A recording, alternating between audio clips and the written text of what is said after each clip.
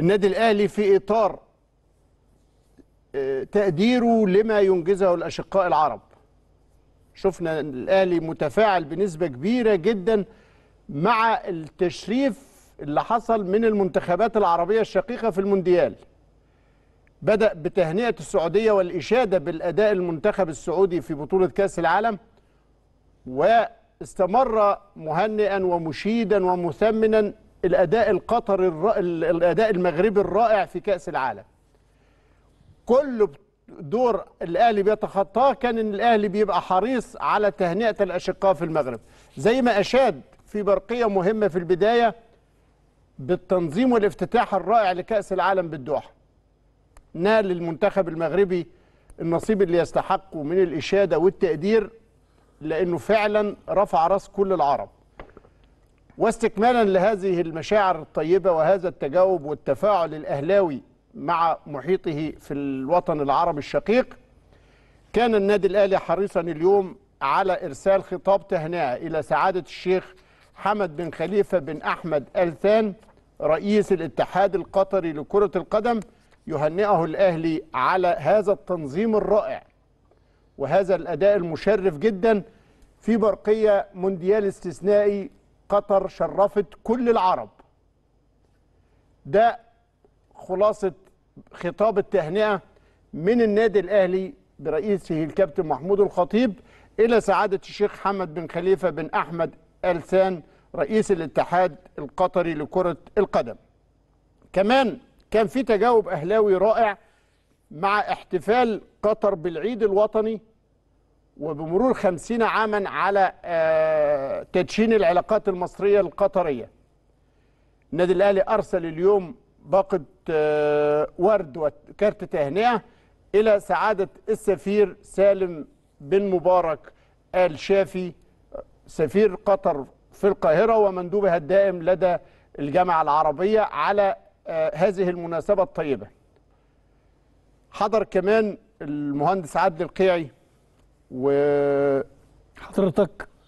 وحضرتك في دعوة الاحتفال اللي أقامته السفارة شايفين المهندس عدلي مع السفير سالم مبارك الشافي.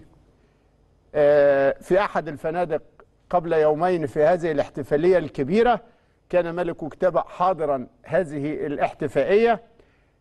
ثم آه، حضر دولة رئيس الوزراء دكتور مصطفى مدبولي هذا الحفل وألقى كلمة على تدشين العلاقات المصرية القطرية ومرور خمسين عاما على هذه العلاقات الأخوية. هنشوف في هذا الفيديو ملخص لهذه الاحتفائية الكبيرة.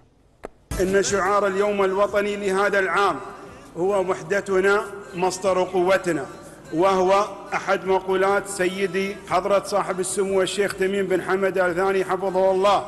ولا أجد أصدق من هذه العبارة لتوصيف واختصار علاقتنا الأخوية بجمهورية مصر العربية الشقيقة. إنني وإذ أعبر عن اعتزاز وتقدير مصر للعلاقات الوطيدة التي تجمعنا مع دولة قطر الشقيقة وإخواننا القطريين تمتد إلى ما قبل تدشين العلاقات الدبلوماسية الرسمية بين بلدينا وإنني من هنا أوجه الدعوة لجميع المسؤولين ورجال الأعمال في البلدين وأحثهم على الانطلاق بكل جد وعزم لتحقيق ذلك. وحدتنا مصدر قوتنا يا رب. تكون و و و و و والتناغم والصدفة الرائعة أن أن كأس العالم تأتي مع خمسين عاما من العلاقات القطرية المصرية لتشهد هذا التطور الرائع الإيجابي في العلاقة بين الأشقاء وإزاي العرب كلهم فرحانين ببعض. يعني أول مرة ما فيش نفسانة. أيوه. الناس كلها فرحانة من قلبها. حتى اللي ما النفسانة جاية منين؟ من البهوات الأوروبيين اللي خرجوا بدري بدري اللي كانوا جايين يصدروا لنا القيم الهابطة وبدعوى آه، حقوق الإنسان وحق التعبير. مش طايقين لدرجة يا عزيز إبراهيم. بيهاجموا ميسي انه لبس العباية. تخيل تخيل وصل البؤس والغيرة من آه. هذا النجاح الذي كانوا يترقبون أن يصدروا له مشاكل فالعالم كله يقف احتراما لما شاهده والكلمة وحدتنا مصدر قوتنا في الاحتفال بخمسين عاما مع نهائي آه، كأس آه، العالم في قطر النجاح هنا يترجم لاستخدام رائع في شعار رائع لما شا ما أسفر عنه آه، روح المونديال الاحتفالي بتلاحم عربي آه، رائع وأصيل. آه، نتمنى عربي إفريقي على فكرة نتمنى أنه يستمر ويتمنى لأنه هو عالم الكيانات الكبرى اللي هي بتبقى وحدتها مصدر قوتها.